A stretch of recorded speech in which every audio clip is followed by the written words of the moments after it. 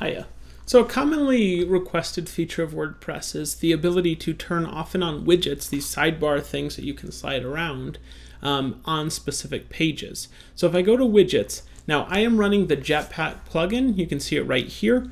Um, unfortunately, in Jetpack, they've hidden the ability to toggle off and on this feature. So if you're running Jetpack, basically this feature should always be there.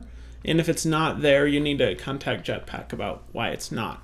But the way Jetpack widget visibility works is that on every widget in your WordPress site, you now have this visibility button.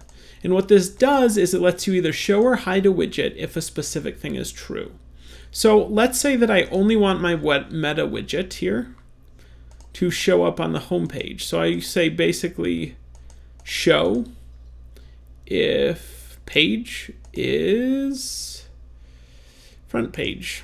And if I do that, then when I go here, I will see my, my meta widget. But if I click into um, my search results,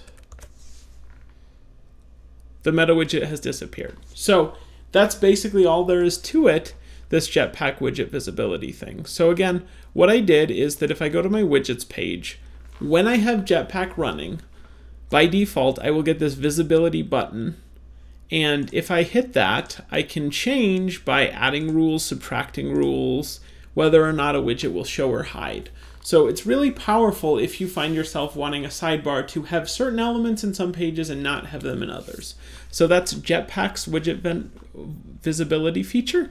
And it's really easy. It's automatically on by default so long as you turn on Jetpack the right way. Um, so it's really easy to use, pretty intuitive. You either show or hide a widget based on certain conditions, and if you want some conditions to apply, leave this unchecked. If you want all conditions to apply, check that. That's all there's to it. Hope it's helpful.